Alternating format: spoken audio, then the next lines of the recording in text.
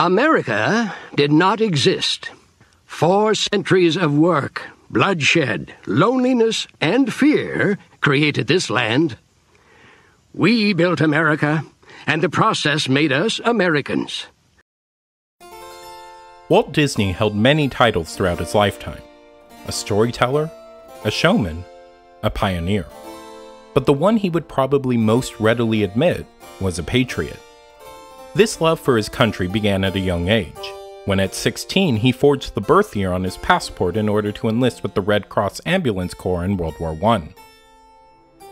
From the studio's contributions to the war efforts, to the live action television serials of Davy Crockett and the Swamp Fox, Walt's steadfast patriotism remained one of his most enduring characteristics over the course of his extensive career. These patriotic values culminated with his crowning achievement of Disneyland.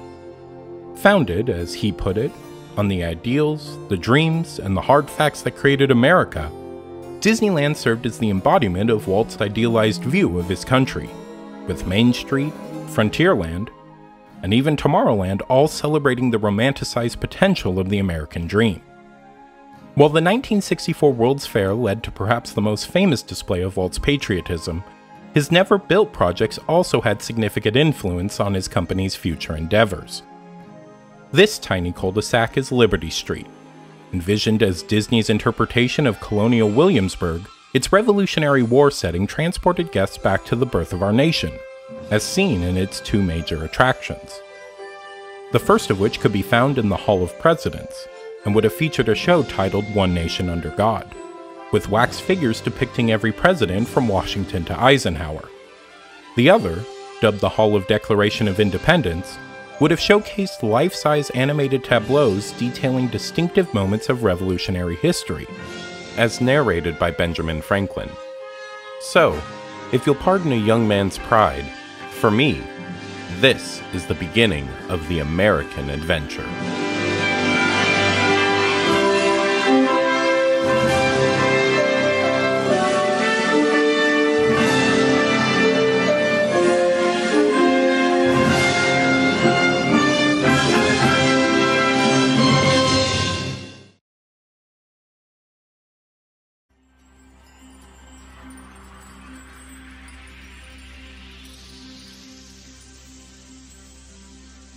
Despite Walt's desire to make Liberty Street a reality, it would take another two decades for his dream to finally be realized.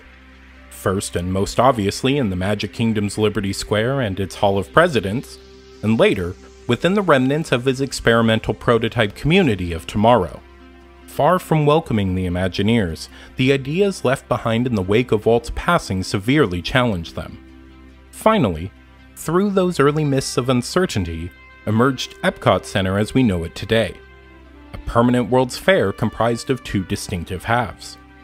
The first was Future World, which appropriately showcased the wonders of modern technology as seen through the lens of nine pavilions. The latter was the World Showcase, where varying countries hosted pavilions celebrating their diverse histories and cultures. And serving as the transitional bridge between the two stood the host pavilion for America. Initially perceived as a massive circular structure on stilts, a design oddly reminiscent to the recently proposed Festival Center, the pavilion was meant to contain an elaborate attraction celebrating the history of America. But Imagineers were conflicted on just what type of experience it should be. Marc Davis proposed a humorous musical journey through American folk tales, and even went so far as to have the grim grinning composer himself, Buddy Baker, draft a scratch track of the Dark Rides theme song. While this idea may have sounded promising in theory, Davis was the mastermind behind Disneyland's beloved America Sings, after all. Supposedly, WED Enterprises executive vice president Marty Sklar and the rest of the Florida team strongly disliked his whimsical take on America. Instead of a dark ride, Sklar suggested that perhaps the attraction would be better suited as a massive multimedia theatrical production.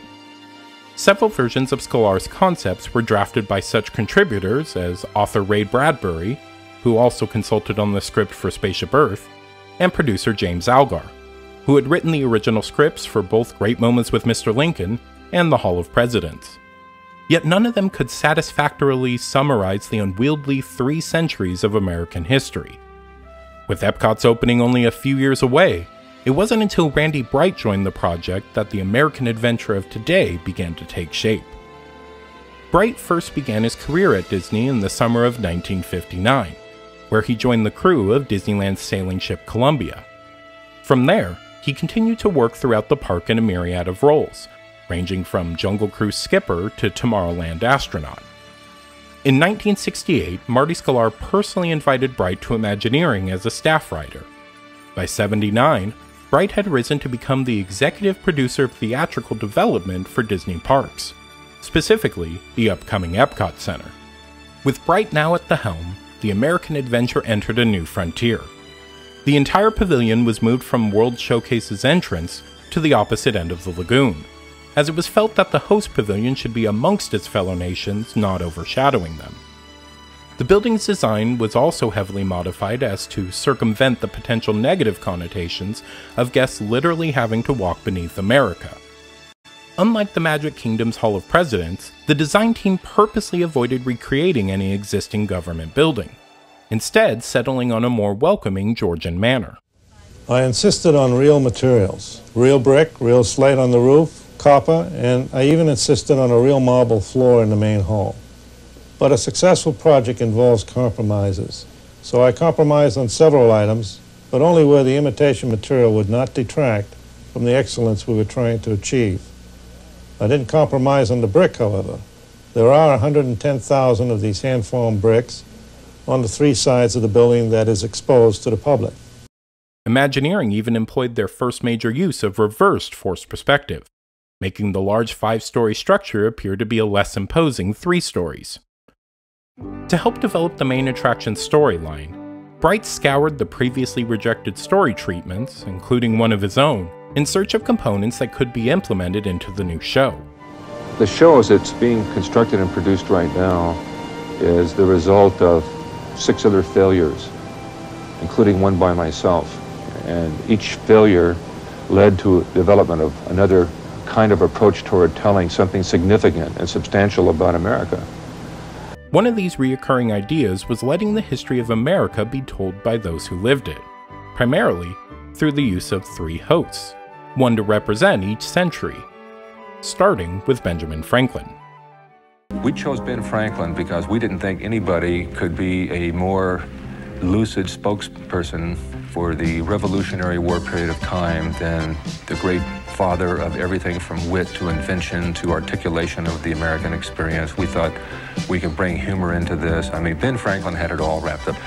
Mark Twain was chosen next, as not only did the team feel that his wry sense of humor served as a good foil to Franklin's optimism, his inclusion felt particularly apt, having been one of Walt Disney's personal heroes. However, it proved to be quite a bit more challenging to determine who should represent the 20th century. The closer we got to today, the more controversial things become. Everybody had their idea who that person should be. And we probably went through 300 names, not one of which could you get five people around a table to agree on as the spokesperson for the 20th century. We're just too close to that period of time. Now, if you got in a, a time capsule and you flashed forward to the uh, uh, about 100 years from now, I think historians would be able to give us a figure to come back and put on that statue. One such suggestion was Walter Cronkite, and even though he ultimately wasn't selected, he would later serve as narrator for Spaceship Earth. The team eventually elected Will Rogers as the final host, though they had perhaps overestimated the lasting impact Willamania had on society. Well, we took that idea to a college class back east to, I think, about 150 students of political science, about five of whom knew who Will Rogers was. So the show's trio became a duo, and Rogers was relegated to just a cameo appearance. As for the story itself, rather than trying to pack in as much American history as possible, Bright opted to focus on a central theme and extract key moments from history that best illustrated the show's message. Well, we tried to instill each scene down to its sort of its elemental form, to capture the essence of what that scene was really trying to say about America, whether it was illustrating the human suffering and perseverance during the Great Depression, or even depicting the struggle and conflict involved in the creation of the Declaration of Independence. And I might also add that nothing included in the show was taken lightly because we put as much authenticity as we possibly could right into the production itself. To assist with the authenticity of the project, Bright contacted UCLA professor of history, Dr. Allen Yarnell. Randy had come up with the, the notion of dreamers and doers.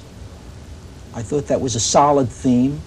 I thought that, again, most Americans can relate to that. Uh, and it's a theme that seemed to work pretty well, and we took that theme and ran all the way through from the, the uh, pre-colonial period, really. At least that was in my thinking, right through the contemporary period. Far from Walt Disney's rose-colored idealism, Yarnell and Bright insisted on including viewpoints from all of America's citizens, especially those who found out that we the people did not necessarily mean all the people. One of the concepts, though, that we tried to stay with was the overcoming of adversity. Uh, that, that became a parameter, too. Uh, another concept we tried to stay with was we didn't want to whitewash the American adventure. There were blemishes, like slavery, certain injustices. We felt we wanted to show those, demonstrate they were there, but at the same time, we didn't want to be heavy hitting we realized these were people, again, not in for a history lesson, but on vacation. So I think what it says is that the American adventure is and probably will always be a struggle. And we're going through a hell of a struggle right now in this country. And if you look at it, without that frame of reference that things have been tough in the past, stop crying about what's happening right now, then you realize that if you apply, apply yourself, you can move forward. That's the positive note that's there. This focus on the fortitude and perseverance of the American people heralded a new dawn for Bright's American adventure. Though even he admitted there was one final failure his show had to endure. I think one of the toughest things we had to do was try to take 350 years and compress it down to 20 minutes. In fact, we failed. It's a 28 minute show. With the story finally in place, Bright and his team now faced an even tougher task bringing to life the most ambitious stage presentation Imagineering had ever produced.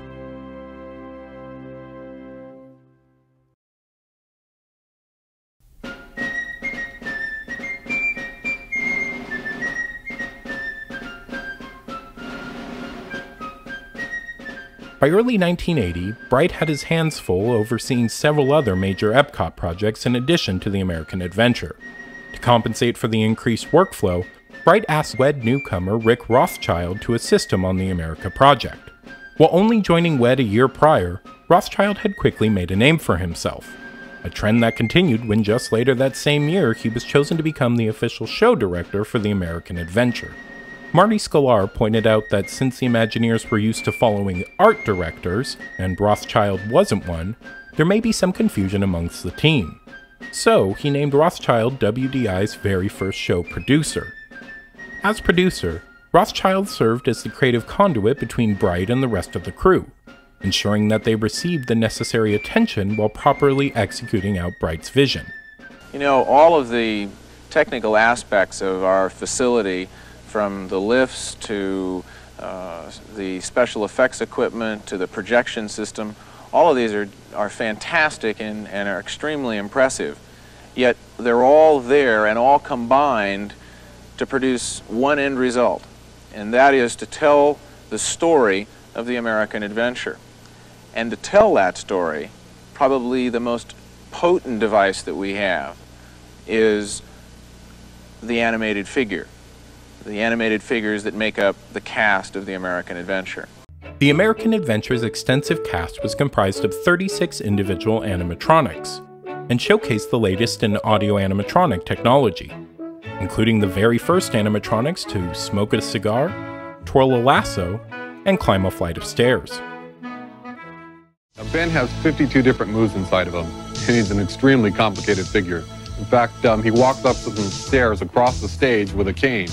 And uh, one little mistake and uh, something drastic can happen. For example, I broke his cane four times just trying to get him to do this. To learn how to do Ben, had to get a cane and walk around with it for almost a week. I practiced the walk deciding how I wanted him to look. I had to go over it hundreds of times, acting out, working on it, until finally I got it just right.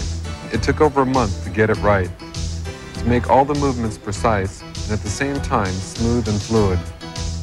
Also, his cohort, uh, Thomas Jefferson, uh, is an extremely complicated figure. He now sits at a desk, and uh, one day I made a little mistake with him, in fact, where he actually put his hand underneath the table, and by the mistake, he actually picked up his table and threw it across the room and demolished it. Now, all these figures travel on two um, wagons, you can say. Now, these wagons are extremely heavy, thousands of pounds, and they hold all of the figures, all the electronics, hydraulic and pneumatic cylinders, the whole equipment, or ball of wax, you could say. And these figures have to be moved into position exactly and precisely to the point where they come up and hit their cue every time. And if they make one mistake, well, they'll end up coming up right through the floor and uh, breaking their head. The 65 by 35 foot war wagons, as they were affectionately called by the design team, begin each performance under the audience, and slowly and silently move forwards to allow each character to appear in seamless succession. Far more complicated than making 13 clocks chime at the same time, the show was nothing short of a mechanical marvel. American Adventure represents a number of firsts for us. This is really the first play that we've produced in the theme parks, and it is certainly the first play ever produced that stars audio animatronic figures. We have a projection screen behind the uh, various animated figures and set pieces that come up during the show into view that is a 72 foot wide picture. And that 72 foot wide picture plays for the majority of the show and then finally widens to 150 feet of a continuous projection surface. Uh, that is probably the largest uh, projection screen that's ever been constructed in the world. The design team also found opportunities to combine the tremendous ingenuity of WED's newer technology with the tried and true practices of some of Disney's oldest, namely the multiplane camera. What we have done with the use of three-dimensional scenery and the creative use of the multiplane film technique has never been done before. It is a film show that three-dimensional images keep falling out of. The set pieces are interlocked, synchronized with the movement of the camera on the projected background, and the whole thing works in perfect unison. It actually seems as if you were looking at a movie and craning right down into the scene when suddenly the set is right before you and all of that three-dimensionality has just literally leaped off the screen and onto the stage. Lining the walls of the 1,024 seat auditorium are statues representing the 12 spirits of America. Like the show's animatronics, these were also designed by Disney legend Blaine Gibson and his team of sculptors.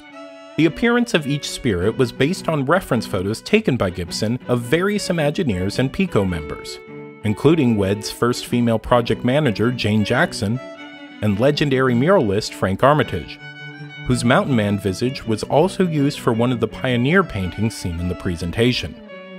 The designers also had a general rule to only use the mediums that naturally existed during each time period, allowing the show to evolve from still paintings to photography and finally to film. All of the paintings featured throughout the production were created in house, with the Imagineers emulating famous works of art rather than simply recreating them. Though this didn't stop several artists from hiding a few familiar faces like Sklar and Bright in the crowd of the Revolutionary War Victory Parade. Nearly all of the photography used throughout the presentation came directly from museum archives, particularly the Civil War portraits that were actually taken by Mathew Brady himself.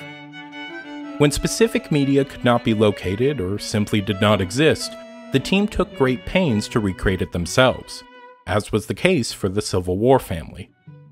Imagineers Jeff Burke and John Olson portrayed the Union and Confederate brothers, respectively. The few images that required their specific characters were taken on both the Disney Studio backlot and at Disneyland. And while it's well known that the funeral scene was staged at New Orleans Square's train depot, the name of Muller's Landing was purposely chosen from a list of real Civil War era towns that no longer existed. Rothschild also applied the same level of authenticity to the casting process and vocal performances. Given the show's extensive timeline, there were very few audio recordings that the Imagineers could reference. So, everything from newspaper archives to private journals were used to determine the speaking patterns of the characters. In particular, Benjamin Franklin and Mark Twain. Longtime Disney voice actor Dallas McKennon was cast as Franklin back when Bright first pitched the concept. Although he may be more well known as Zeke in The Country Bears and the old prospector on Big Thunder Mountain Railroad, if any of you folks are wearing hats or glasses, best remove them, because this here's the wildest ride in the wilderness! McKennon bestowed Franklin with his trademark wit and wisdom. Prolific character actor John Anderson voiced both Mark Twain and Franklin D. Roosevelt.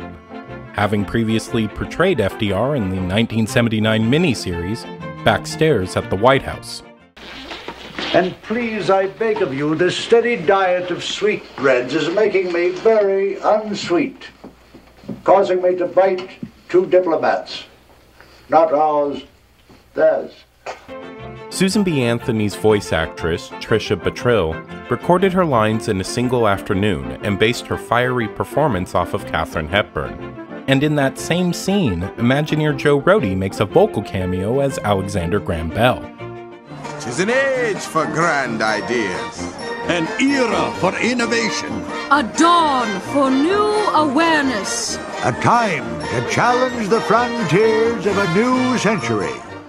While not having nearly as large a role as originally intended, Will Rogers still appears in the Great Depression segment and was voiced by none other than his real life son, Will Rogers Jr. Voice acting legends Frank Welker, BJ Ward, and Bob Holt rounded out the impressive cast. Finally came the music. We knew we wanted some specific songs in addition to the background score for certain scenes in the show. So we went on a little search.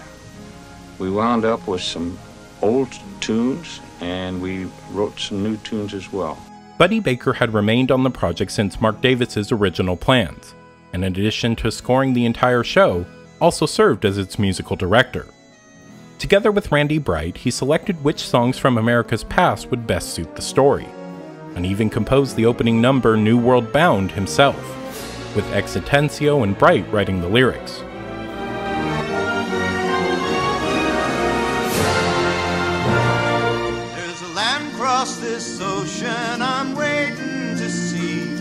A land for these people who dream to be free. So stand by the mainsail, the fierce storms will race. Aloft with ye mates, our King Neptune will face. Starting as an upbeat sea shanty, the tune develops a more stoic tone as the pilgrims face the hardships of their new home, establishing Bright's theme of overcoming adversity this wilderness brings me dread that the first bitter winter may leave all more dead. This motif returns during the centennial celebration scene and the subsequent progress montage, echoing the continued tenacity of the American people. Fine on you, sir. Fine. Come in. Go away. Go away. Wait. Kermit, are you sure that the Continental Congress was really like this? Uh, well, actually, yes. The history books tell us it was a lot like this. But where will it all end? Well, in their case, it ended with the Declaration of Independence and the founding of the United States of America. And in our case? What else? Song cue! The traditional march in the days of 76 underscores the Revolutionary War portion of the show, with additional lyrics again provided by Bright.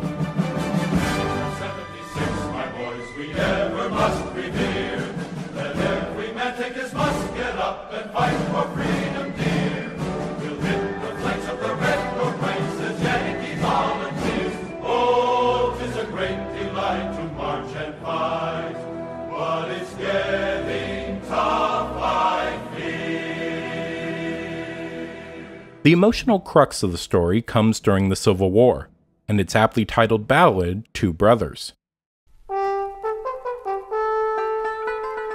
Originally written by Irving Gordon in 1951, who later that same year would write the Nat King Cole classic Unforgettable, it first rose to prominence thanks to Kay Starr's moving performance. The song has since been covered by the likes of Dusty Springfield,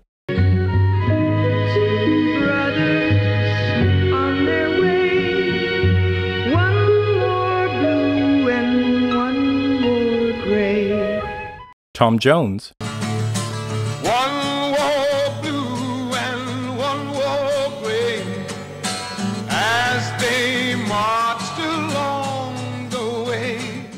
Harry Belafonte, A fife and drum began to play. and John Denver. Fall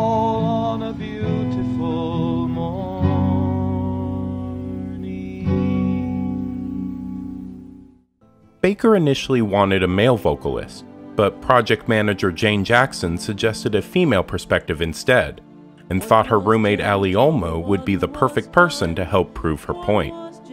Olmo was a self taught guitarist who got her start playing at Disney World hotels while attending college.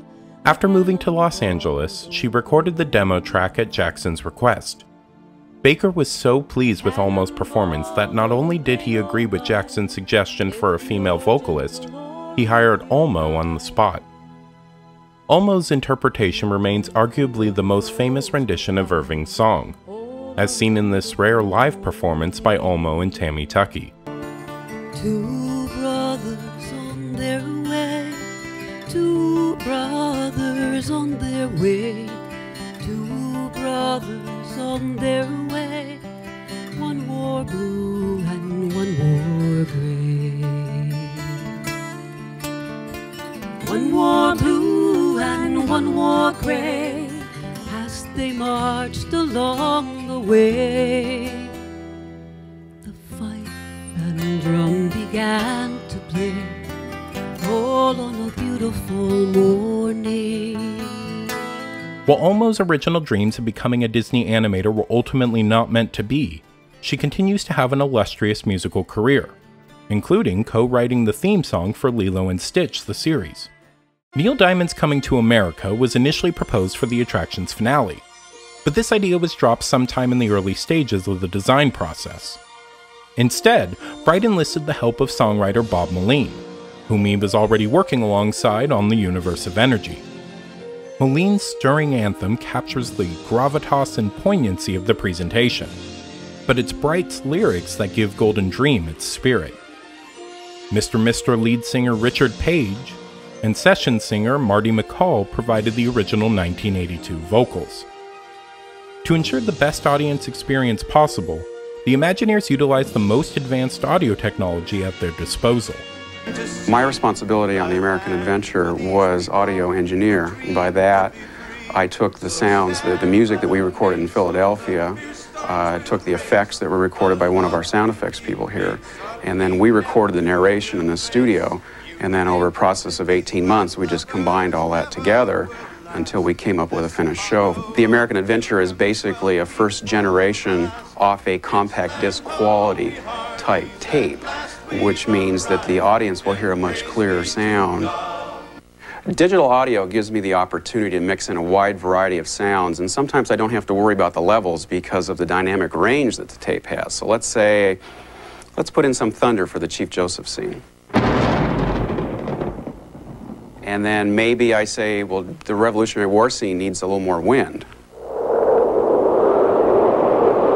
And maybe George Washington's horse isn't too happy, so he's going to make a noise. And then I have everything covered.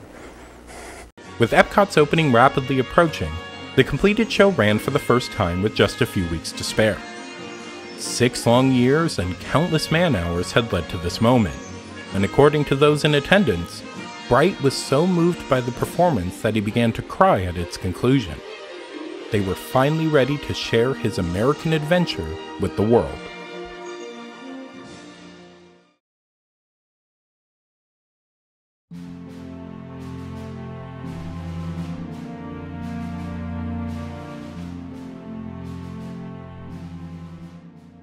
The American Adventure opened with the rest of Epcot Center on October 1, 1982, and was officially dedicated 10 days later. Due to the extravagant nature of the attraction, the pavilion featured two sponsors Coca Cola and American Express. Even though their contracts would expire in 1998 and 2002, respectively, remnants of their sponsorship still remain to this day, like Coca Cola's prominent advertisements still seen on the gas station. Not only was the American Adventure an immediate hit with Epcot's audiences, it proved to be so successful that just two years after it opened, both Two Brothers and Golden Dreams were added to Disneyland's Great Moments with Mr. Lincoln, where they remain to this day. Sadly, Bright tragically passed away in 1990. The following year, a window on Main Street was dedicated in his honor, and in 2005 he was posthumously recognized as a Disney legend. After nearly a decade, the attraction received its first major update. Rick Rothschild, who had since gone on to work on such projects as Star Tours and Pleasure Island, and even cameos in the Haunted Mansion's attic, returned to oversee the renovation. In Bright's absence, Adventurers Club composer Lynn Hart was brought on to write additional lyrics for the newly extended Golden Dreams montage. Richard Page returned to record the updated song, and was now joined by R&B singer-songwriter Siedah Garrett.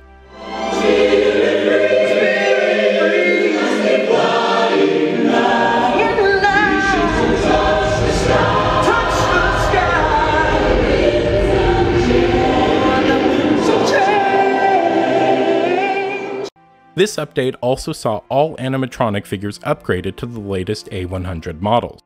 Uh, we've, we've taken a figure like Will Rogers and uh, given him the ability to uh, tip his hat back as he uh, was known to do.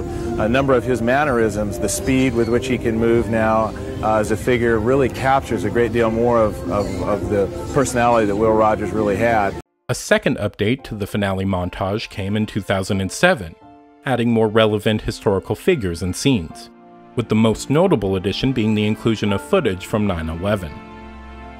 The third, and as of now latest update, came in 2018, with a complete digital remastering of the film and an entirely rescored arrangement of Golden Dreams by Harvey Mason Jr. It's been an absolute joy to collaborate with an artist like Harvey. My approach was to be respectful of the original. And then I also tried to make it contemporary and somewhat relevant to what's going on in music today. After going on a journey of excitement, some down moments, some sadness, some introspection, I wanted people to leave on a high note of, man, this is great, I love America. To hear the new version go down was amazing. It's a beautiful performance by the orchestra. Many moments in the film, it swells to this incredible, like almost stand up, you know, beautiful emotion that only a rich chorus can bring. An estimated 130,000 performances later, the American Adventure remains virtually unchanged since its premiere, a testament to Randy Bright's visionary leadership and his team's dedication to crafting both a timely and timeless perspective of America. The events that are low always lead to events that are high at that point in time. So people shouldn't wallow and self-pity about any challenges facing them today. And that's that's the underlying score of what we're trying to say. It's happened for the fourth century American experience. And perhaps that's why the show continues to withstand the rigors of time. While its creation came 16 years after Walt's passing, many recognize the attraction as a true continuation of his legacy, including his daughter Diane. Standing in the American Adventure and that wonderful uh, vocal group singing there, and all of a sudden I got this image of Dad, and he was very a great sentimentalist. You know, he uh, would watch the flag lowering at Disneyland every evening they were down there, and tears would go down his cheeks, right? Oh, yeah. And I could say I had an image of him standing there listening to this group with tears coming down his cheeks. I, I know he would have been there doing that. However, when speaking on the attraction's future, Rick Rothschild did sound this warning. With each passing year, newer generations will connect less and less with the show. As it stands, the same amount of time has transpired from the show's final physical scene and Epcot's opening as the park's opening to today. Not to mention how different the America of today is from the one of 1982. I think the show's creators never dreamed of an America like this. And while major modifications to the show are inevitable, the foundation laid by Bright allows future Imagineers to continue to fulfill the promise and meaning of his American adventure a message that is best illustrated by Benjamin Franklin's closing reflection. To everyone a chance, believed Thomas Wolfe. To all people, regardless of their birth, the right to live, to work, to be themselves, and to become whatever their visions can combine to make them. This is the promise of America. Mr. Twain, tis easy to see, hard to foresee, but I foresee the American adventure to continue a long, long time. Sail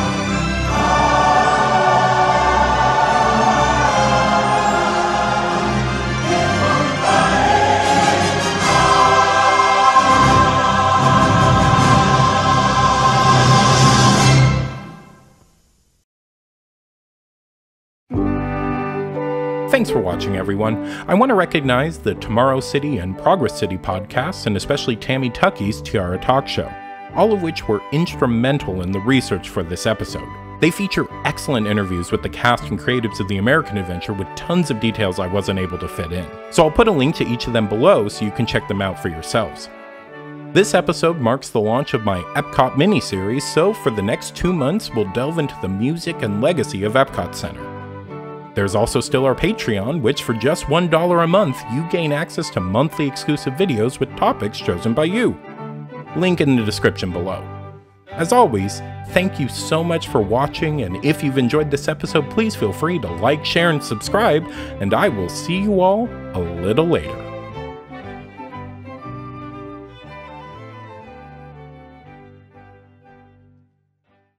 Are you nearsighted or farsighted? Both. That's why I invented the bifocal.